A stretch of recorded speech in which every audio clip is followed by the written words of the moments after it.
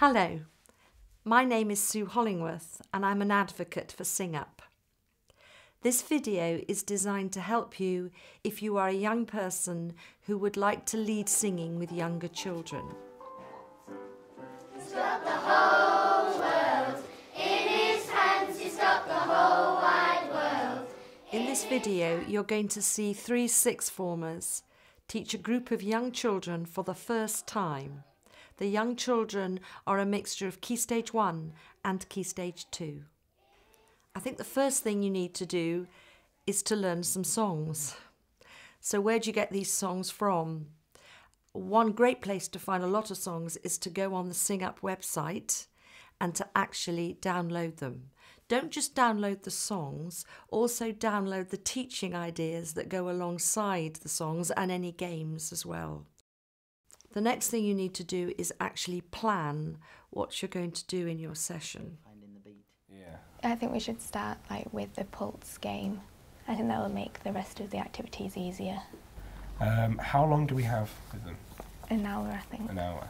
Should we go as in depth as like removing words and you know? Like I those- think so. Depending on how they get on with it, I think. Yeah. If you can grasp it pretty quickly, we'll start making it harder.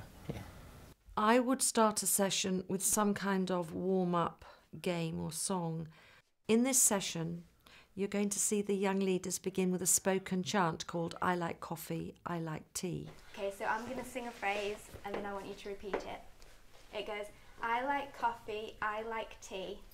I like coffee, I like tea. Won't you throw the ball to me?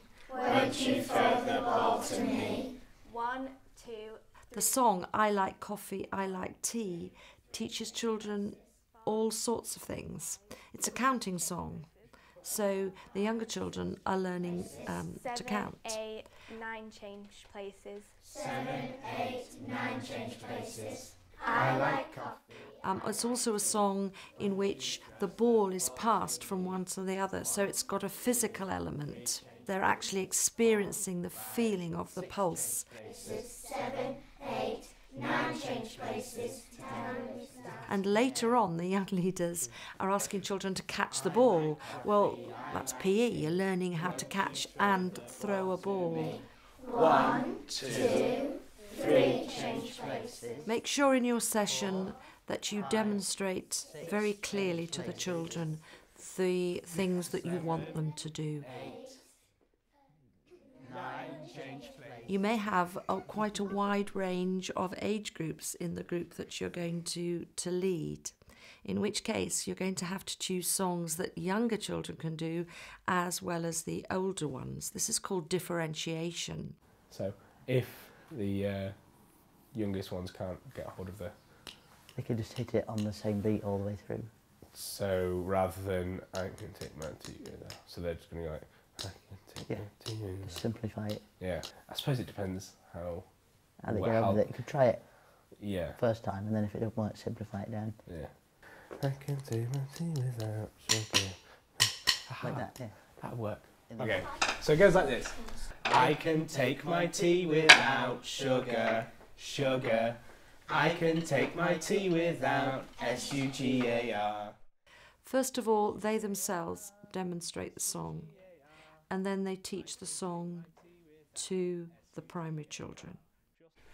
I can take my tea without sugar, sugar. I can take my tea without S-U-G-A-R. I can take my tea without sugar. Then they added the rhythm with the drumsticks. Primary children really like drumsticks.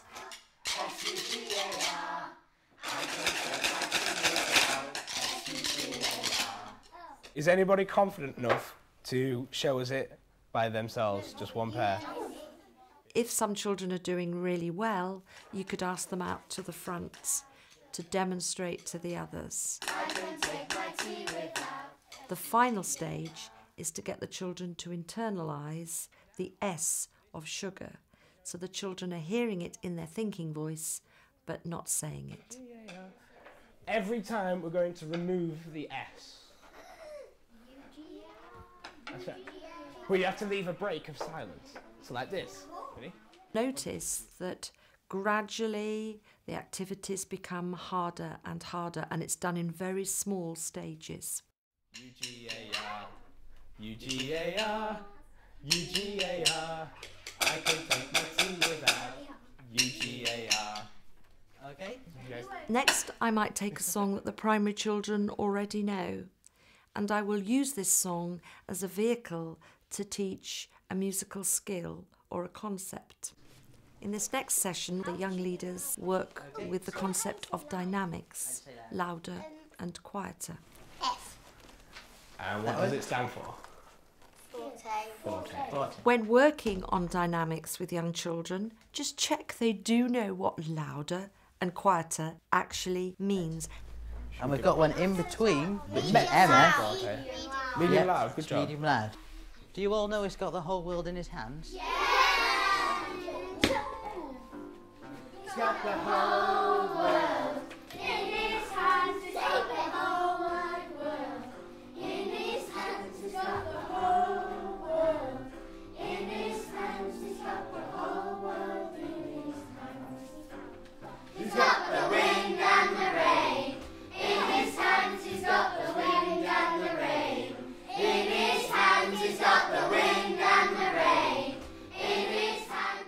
think it's nice for the younger children because they get that different kind of relationship between us and them rather than the teachers. It's kind of more relaxed.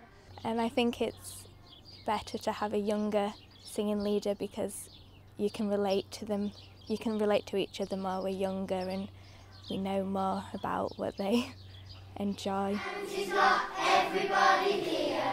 In his hands he's got the whole world. When you're choosing material, I would begin by choosing something that's not too hard, either for you to do or the children. Nine, change. When you're going into a school, I would go in in twos and threes. I would go with a friend that you know well. Make sure that you support each other. If somebody's struggling to remember a song, then step in and help them. No, on one, two, three. If you hold the Explain ball. Okay, we, we're going to sing I Like Coffee, I Like Tea. Take your time when you're teaching a song. Don't rush at it. If the children are finding it hard to pick up, then just do tiny little chunks and go slowly.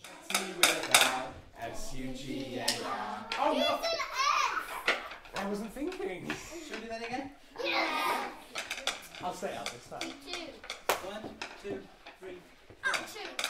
So, can I wish you good luck? I'm sure you'll have great fun teaching the younger children these songs. They'll get a lot out of it, and so will you.